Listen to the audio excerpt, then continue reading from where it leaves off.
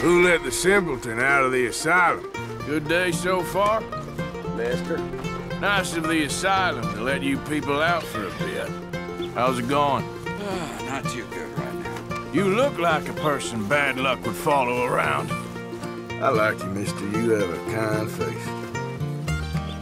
The kind I like to punch. This seems like a decent town. Is everyone as stupid as you? I hope you're okay there, miss. Thank you very much. You don't look okay. At all.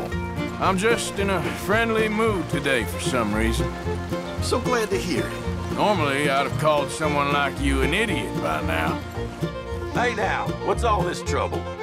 Shut it. You need help with that attitude? I, I ain't finished. Think about this. Shut up. Get those goddamn hands up. Okay, throw me in jail.